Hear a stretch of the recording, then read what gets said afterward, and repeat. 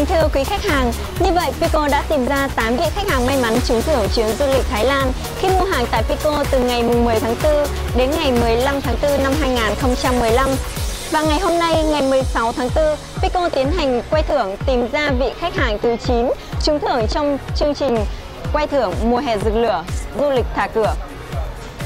Quý khách hàng có thể truy cập vào website mùa hè rực lửa.pico.vn để truy cứu danh sách khách hàng trúng thưởng.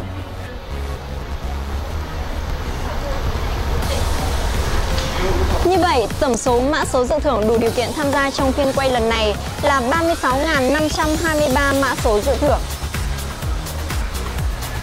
Pico sẽ quay thưởng tìm ra vị khách hàng may mắn trúng thưởng trong ngày 16 tháng 4. Quý khách hàng có thể truy cập vào website mùa hè rực lửa.tico.vn để truy cứu mã số dự thưởng của mình qua số điện thoại di động. Và cũng tại website này, quý khách hàng có thể tra cứu ra những danh sách khách hàng trúng thưởng.